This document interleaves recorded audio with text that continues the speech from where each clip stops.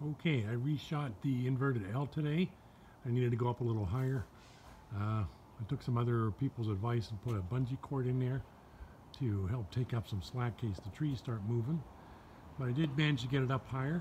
The vertical section, 44 feet exactly, is a lot more taut. I was able to move the base plate, the feed point, a little bit forward uh, so that the wire is uh, more vertical.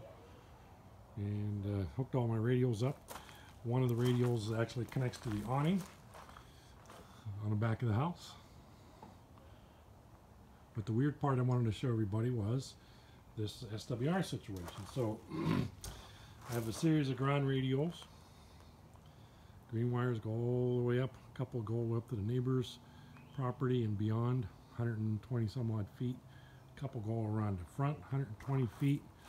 Green one goes all the way up there attaches to the neighbor's chain link fence, which is 70 feet long. So uh, I have some ground radio, some extension cords here, connected with clip leads, so on, so forth. But this one that grounds to the awning, if I put it on this rusty bolt, I want to show everybody what the curve looks like. So we'll do a scan with the RigExpert here. Uh, it flattens it out, which is really nice. It was never this broad band before. 1.5 to 1. Pretty much across the whole 160 meter band starts to go up toward the end. Uh, it's a little bit high there, but I mean the, the lowest SWR is a little bit higher in the band than I like to be, but that's okay. What I wanted to show people is if all I have to do is just move this to the other bolt, which I don't understand this at all. It's on the same aluminum plate here, you think. Look at this, I put this in here. It's a little more rustier, but I'll grind it in real good. It's really no more rustier than this one. But watch what happens when I do another scan. Uh, let's go. Instantly it starts out higher. And all I did was just move it over to the adjacent bolt on the same post, the last post.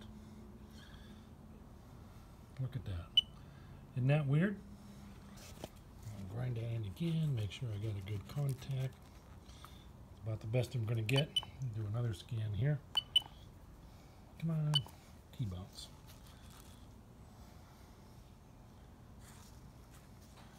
Take it off. See, it shoots up a little bit. I'll put it back on.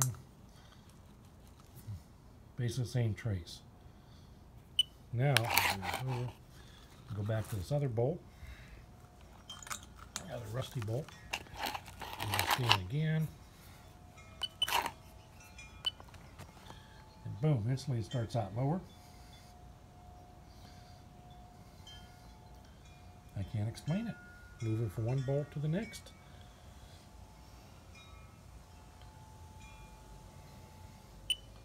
How odd is that?